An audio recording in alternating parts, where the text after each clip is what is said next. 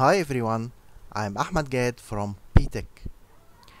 In this lecture, I will start to talking about one of the very important part in uh, many if, uh, equivalence exams all over the world, which is the pharmaceutical calculation.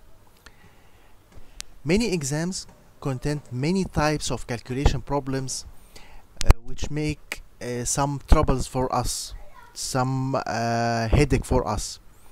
So in this lecture I will show some types of uh, calculation problems which is dilution and mixing and show how to deal with uh, those problems with a simple and smart way uh, to reserve our time and to uh, to solve those problems very easily and don't consume our times in the exam. Before we start with dilution and mixing, we should know some important basic informations and some expressions and what is the meaning of those expressions. If we know the meaning very well, it will uh, helps us to solve any problem that facing us in the exam. First thing which is the percentage and how to convert from percentage to fraction and from fraction to percentage. If we have a number with percentage like 25%, how to convert it to fraction, fraction of.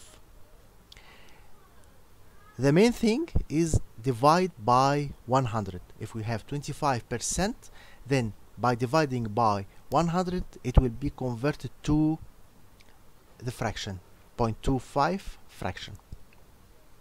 And if we have a 200% by dividing by 100 then the fraction will be 2 and from fraction to percentage we multiply by 100 if we have a 0.7 5 uh, fraction then it will be 75% by multiplying by 100 the ratio. What is the meaning of some expressions of ratio? If we have uh, an expressions like uh, weight per weight weight per volume volume per volume and what that means? If you have weight per weight it means 1 gram of solute is dissolved in 100 grams of solvent. We must know very well the units here. Here the unit of weight by grams and the unit of volume or weight of the solvent by also by grams. So if we have 1% volume uh, weight per weight, that's mean 1 gram of solute dissolved in 100 grams of solvent. The other expression, weight per volume, which is the most common one and most common expression in uh, many problems. The weight per volume. Weight per volume here means 1 gram of solute is dissolved in 100 milliliters of solvent. So any expression like 0.2% weight per volume or 1% weight per volume. Here the unit of the weight by of, uh, of the solute is by grams, not by milligrams. It's very important to take care about this. And the solvent unit is milliliter, not liter. 100 milliliter. The last expression is volume per volume. Also, it means 1 milli of solute dissolved in 100 milli of solvent. So if we have 1% volume per volume, that's mean 1 milli of solute is dissolved in 100 milli of solvent. Here an example to uh, show how to deal with the meaning. The example says uh, how many grams of sodium chloride in 5 milli of 0.2% solution? Here he didn't uh, say if 0.2% weight per weight or weight per volume or volume per volume. If he didn't say the only expression is weight per vo volume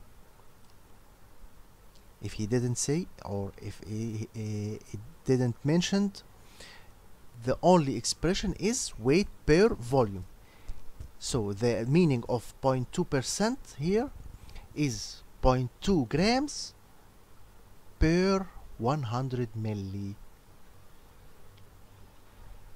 So to calculate the grams of sodium chloride we make a, cri a, cross, a crisscross 2 point, uh, 0.2 gram of solute of sodium chloride in 100 milli of the solvent or the solution.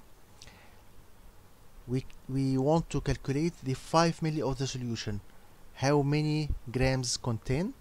So here x equal 5 multiplied by 0.2 divided by 100 so we get the result which is 0.01 gram of sodium chloride another example to confirm our idea. Here in example 2 uh, he said the percentage weight per volume of 30 milligrams of sodium chloride in 50 milli solution is. Here he gives us the weight of the sodium chloride by milligrams and the volume of the solution by milli as we said before the percent weight per volume means the weight is by grams and the volume is by milliliter so we must here convert from milligram to gram. To solve this problem the first step is converting from milligram to gram. Uh, by dividing by 1000 so 30 milligrams will be 0.03 grams so if 0.03 grams present in 50 milli of solution then 100 milli of solution will contain x milli x grams which is 100 multiplied by 0.03 and divided by 50 and will be 0.06 percent. So the answer here is number C in example number 3 another type of question. He said if an injection contained 0.5% diltiazem hydrochloride calculate the number of milligrams of the drug in 25 milli of injection. He requests here the number of milligrams but uh, the uh, the expression percent weight per volume will give us the weight by grams. So after we solve the problem we must convert from milligrams to grams. Or from the first we must convert the grams of 0.5% uh, to milligrams. Either that or that. So to answer this uh, example the first thing is knowing the meaning of 0.5% as I said before if he didn't said any expression weight per weight or weight per volume or volume per volume the meaning is weight per volume. So 0.5% here means 0.5 grams per 100 milli of solution. And the injection the final injection volume is 25 milli. So 25 milli will contain x gram by crisscross as we uh, know it will give 0.125 grams then convert it to milligrams. In example 4 he gives us a prescription or a form like prescription. This prescription contains potassium permanganate 0.02% weight per volume and purified water 250 milli. So the final volume of the solution is 250 milli. And it contains a concentration of 0.25% weight per volume. In this question he need the number of grams or how many grams of potassium permanganate should be used to compounding or for compounding the following prescription the same thing. We must know the first uh, the meaning of 0.2% weight per volume which is 0.2 grams per 100 mil milli of the solution. So 250 milli of the solution the required solution will contain x grams. And then by crisscross we calculate and get the uh, uh, end result which is 0.05 grams. Another expression which is a proportion which is most uh, pharmaceutical calculations can be performed by this proportion. An expression like ppm what is the meaning of ppm ppm means part per million. Which part and which million the part here expressed by the weight of the solute which is uh, in milligrams unit. And the million is the volume of the solution and expressed by liter. The unit of volume here is liter. So ppm means 1 milligram of solute dissolved in 1 liter of solution so if we have 5 ppm means 5 milligram of solute dissolved in 1 liter of solution. Here uh, the example number one uh, is another example for proportion. Let us uh, see what he said. If a 240 milli of cough syrup contain 480 milligrams of dextromethorphan hydrobromide